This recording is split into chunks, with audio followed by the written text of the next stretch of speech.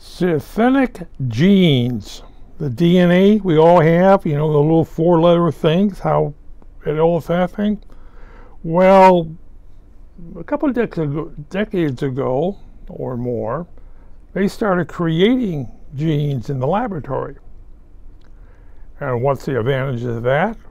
COVID 19 is a good example of that is it wasn't hard. Well, it was hard, but it wasn't hard. It didn't take as long to get a vaccine for COVID 19 because they've been working on this stuff for a long time. Uh, the Chinese were working on it. Basically, the Chinese have been working on it. Well, the first outbreak of COVID, well, of COVID back then was in 2003 was a bat bat virus. So they've been working on it steadily, nothing.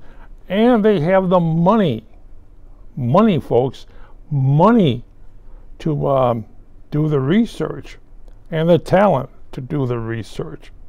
And it's, of course, what you have is talent is you, you start somebody in high school and you work them into that's that's their whole career. People people are sitting in China. They're in this frame they work in this company. That's all they're going to do the rest of their life. But synthetic gene are common today and they're applied to drugs and they're applied to vaccines.